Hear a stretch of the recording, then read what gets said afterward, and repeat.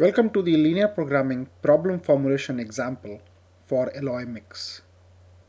Now, what is an alloy? So, an alloy is a metallic composition of two or more elements.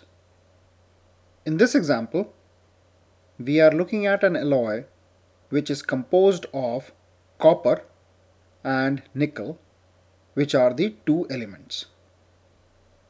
A research laboratory has two melts of copper nickel alloy to make up a new alloy.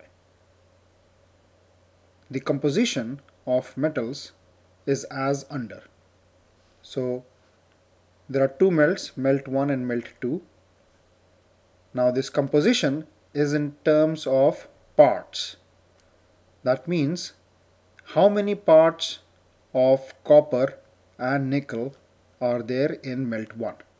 So this is something like a ratio. So copper is 2 parts while nickel is 1 part. So basically we can say that copper and nickel for melt 1 are in the ratio 2 is to 1.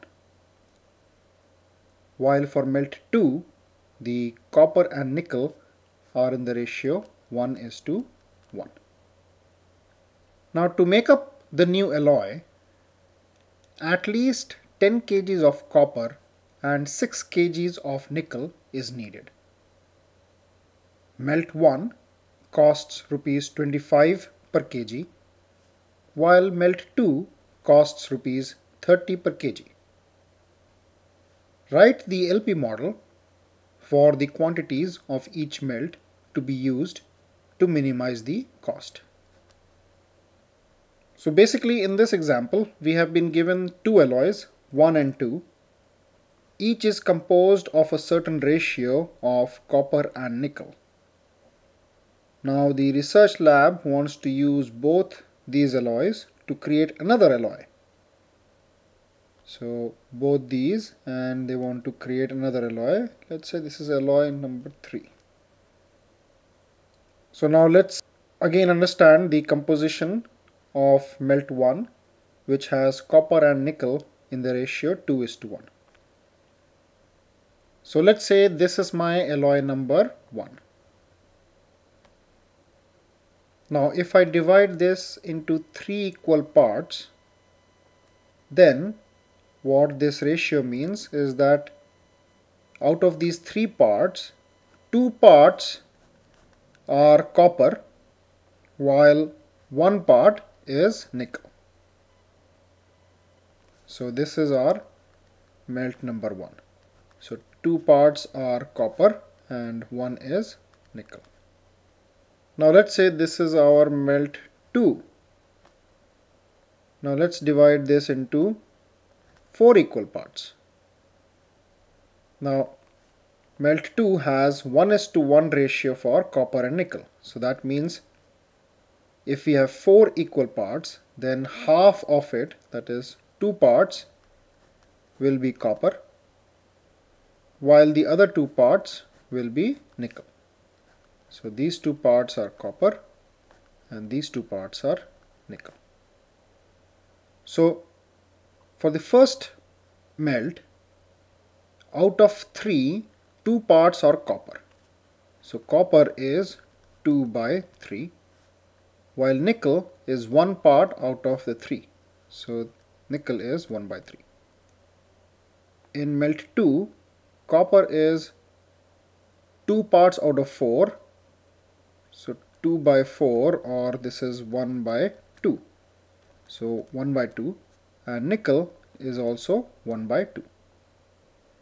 Now further what we have been given is that to make up the new alloy at least 10 kgs of copper and 6 kgs of nickel is needed.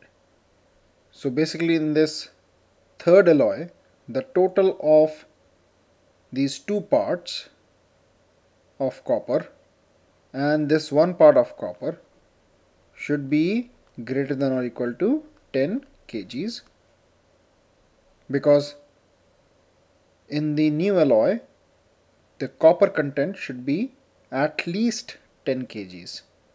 So that means the total of copper for melt 1 and melt 2 should be equal to or greater than 10 kgs to make up the third alloy.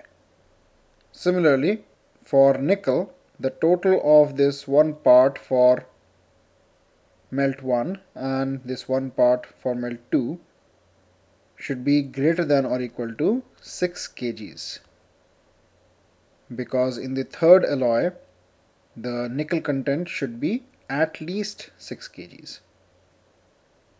Also, melt 1 costs rupees 25 per kg while melt 2 costs rupees 30 per kg.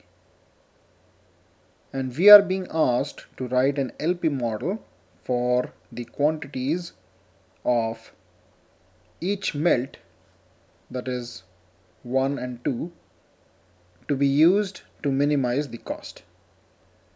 So in other words, we have to find the quantity of melt 1 and melt 2 to be used for creation of melt 3 so that the overall cost is the least and at the same time we have to take care of the constraints that is copper should be greater than or equal to 10 kgs while nickel should be greater than or equal to 6 kgs.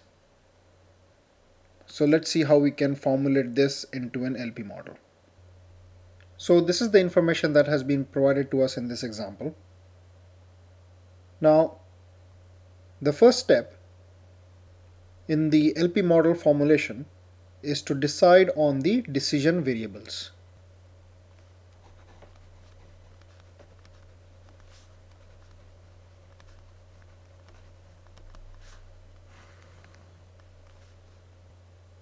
Now in this problem, we have to find the quantity of melts of each type to be used in the new alloy.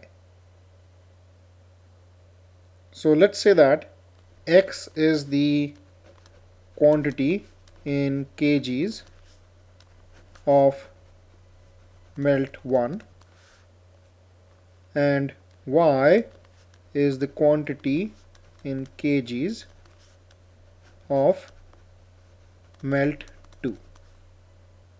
So here x and y are the decision variables. Now the next step is to find the objective function.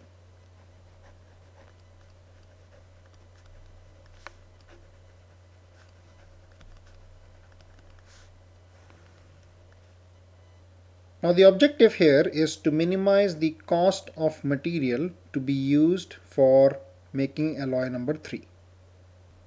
Now the material to be used in the creation of alloy number 3 is melt 1 and melt 2.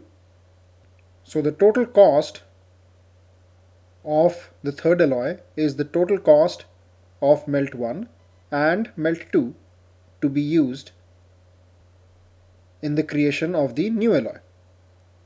Now we have been given that the per kg cost of melt 1 is 25 rupees and we have considered x kgs as the quantity of melt 1 in the third alloy. So for 1 kg the cost is 25 rupees. So for x kgs how much is the cost? Let's say this is x1. So now cross multiplication. So x1 into 1 is equal to 25x now similarly for the second melt the cost per kg is 30 rupees. So for 1 kg the cost is 30 so how much is the cost for y kgs? Let's say this is y1 so again cross multiplication. Y1 is 30y so the cost of x kgs of melt 1 is 25x while the cost of y kgs of melt 2 is 30y.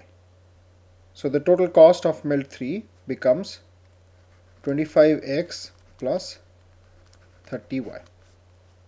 Let's say this is C and our objective is to minimize this C.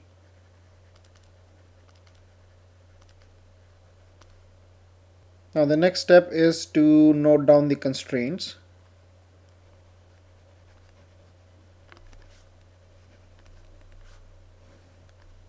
So the first constraint that has been given to us is that in the new alloy the total quantity of copper should at least be 10 kgs.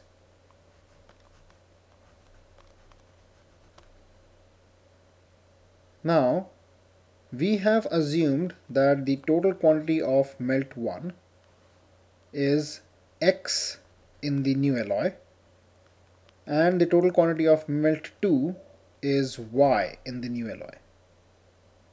So first let's consider melt 1 and the quantity of copper.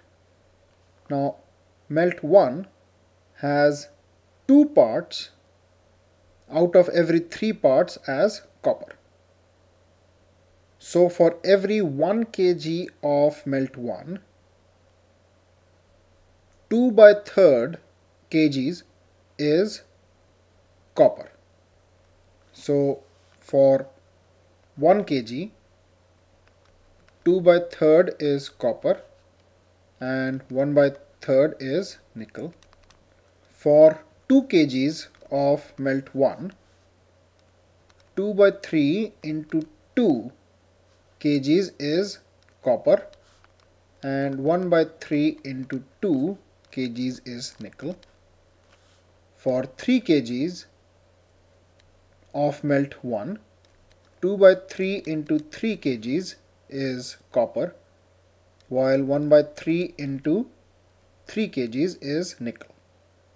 So for x kgs of melt 1, 2 by 3 into x kgs is copper while 1 by 3 into x kgs is nickel. Similarly, the quantity of copper for y kgs of melt 2 is going to be 1 by 2 times y because copper is 1 out of every 2 parts. So for 1 kg copper is 1 by 2 kgs for 2 kgs of melt 2 copper is 1 by 2 multiplied by 2 for 3 kgs of melt 2 copper is 3 into 1 by 2 kgs and so on. So let me note it down here. So for x kgs of melt 1 the amount of copper is 2 by 3 times x and for y kgs of melt 2 the amount of copper is 1 by 2 times y.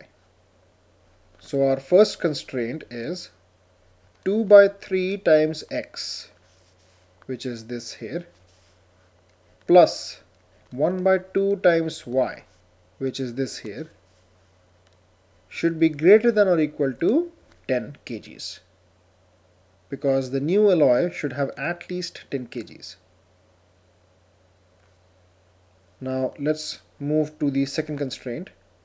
Now the second constraint says that the quantity of nickel in the third alloy should at least be 6 kgs. Now the amount of nickel in x kgs of melt 1 is 1 by 3 times x while the amount of nickel in y kgs of melt 2 is 1 by 2 times y.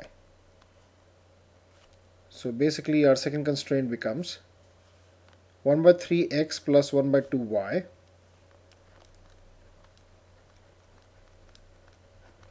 is greater than or equal to 6. And our third constraint is the constraint for all LP models which says x and y should be greater than or equal to 0. So this is our LP model for this example.